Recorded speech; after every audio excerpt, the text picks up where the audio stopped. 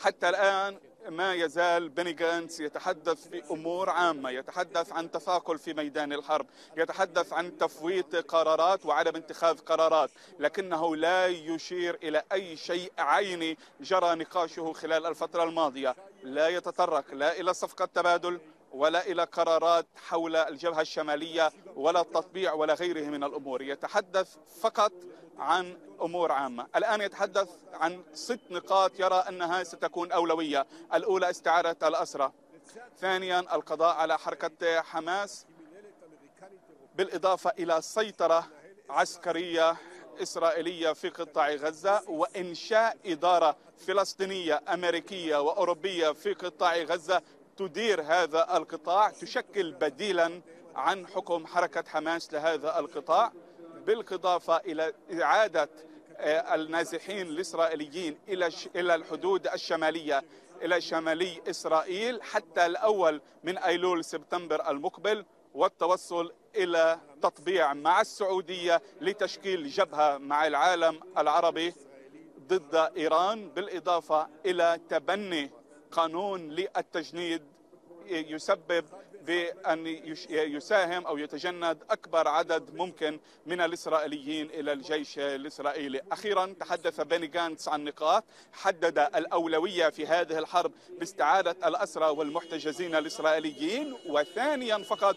القضاء على حركة حماس. هذا يناقض كل ما تحدث عنه رئيس الوزراء الإسرائيلي بنيامين نتنياهو خلال الفترة الماضية. منذ بداية هذه الحرب نتنياهو كان يصر على أن الأولوية الأساسية هي القضاء على حركة حماس وليس استعادة الأسرى والمحتجزين الإسرائيليين. يقول جانس أنه أجرى مباحثات خلال الفترة الماضية ماضية مع قادة عرب لم يذكر من هم القادة العرب وأنه أيضا أجرى مباحثات خلال الفترة الماضية مع قادة غربيين في محاولة للتوصل إلى اتفاق أو لقراءة موقف هذه الدول من الحرب الإسرائيلية على قطاع غزة. يعتقد جانتس أنه خلال الفترة المقبلة يركز على التطبيع يركز على غيرها من الأمور ويرى أنها خلال الفترة المقبلة ستكون هي الأولوية للحكومة الإسرائيلية وهو يكرر الهدف الأساسي وهو إنشاء جبهة إقليمية إسرائيلية عربية لمواجهة إيران ويشترط ذلك بالتوصل إلى تطبيع مع السعودية.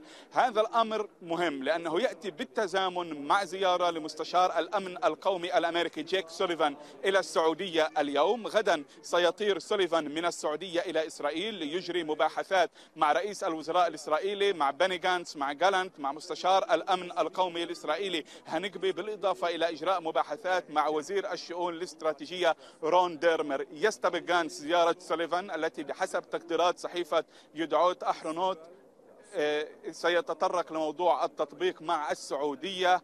يستبق هذا يستبق هذه الزيارة وهذه المباحثات بالتأكيد على أن موقفه داعم لهذا الأمر ويقول الآن أن بنيامين نتنياهو الذي يعرفه قبل عشر سنوات كان سيذهب باتجاه التطبيع مع السعودية لتشكيل جبهة ضد إيران حتى لو كان الثمن هو وقف الحرب على قطاع غزة لكنه الآن يشكك في هذا الأمر.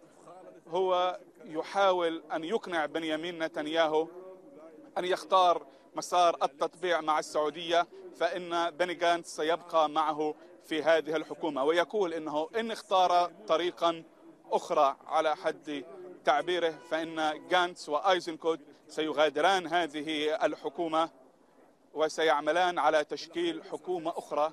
سيكون هدفها التوصل إلى اتفاق وإلى التوصل إلى أمن حقيقي لمواطني إسرائيل. ويقول للإسرائيليين لا تتخلوا عن الأمل. إذا التهديد واضح الذي يتحدث عنه بني جانتس يريد أن يقول للإسرائيليين أن بنيامين نتنياهو لا يعطل فقط صفقة تبادل الأسرى إنما يعطل تحولا استراتيجيا في هذه المنطقة على شكل تطبيع مع السعودية. يتحدث عن يجب تغيير أولويات هذه الحرب لتكون الأولوية الأولى هي استعادة الأسرى والمحتجزين الإسرائيليين ودعا إلى تحديد هدف لانتهاء التصعيد على الجبهة الإسرائيلية اللبنانية هو الأول من نيسان أبريل المقبل بنيامين. الأول من عفوا أيلول سبتمبر المقبل بنيامين نتنياهو كان قلل من هذا الأمر خلال الفترة الماضية بحسب تسريبات أوردتها القناة الثانية عشرة الإسرائيلية رفض بنيامين نتنياهو الالتزام بإعادة الإسرائيليين النازحين من المناطق الشمالية إلى منازلهم